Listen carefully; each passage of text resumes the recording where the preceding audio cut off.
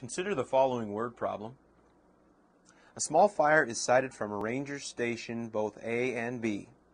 Station B is 1.6 miles due east of Station A.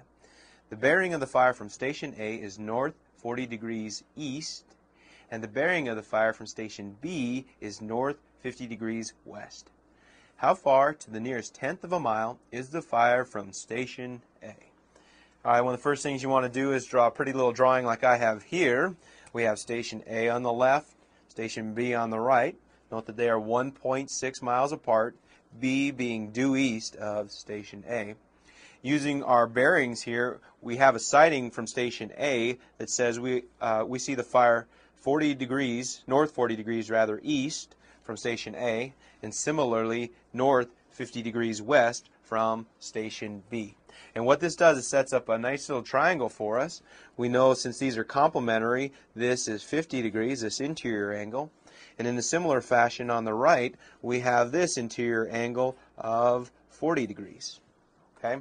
And from this, we can use the law of sines. So we're looking for the distance, the nearest tenth of a mile, that the fire is from station A. And you see our x right here.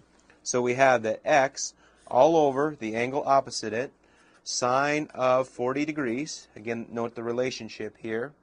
That is then equal to 1.6 miles. All right knowing that the two stations are 1.6 miles apart.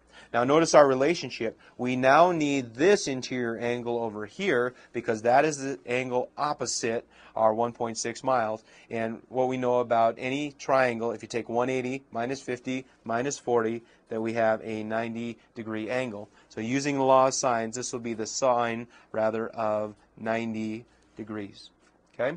So cross multiply x times the sine of 90. What do we know about the sine of 90? That that is 1. So we have x times 1, or simply x, is equal to 1.6 times the sine of 40 degrees.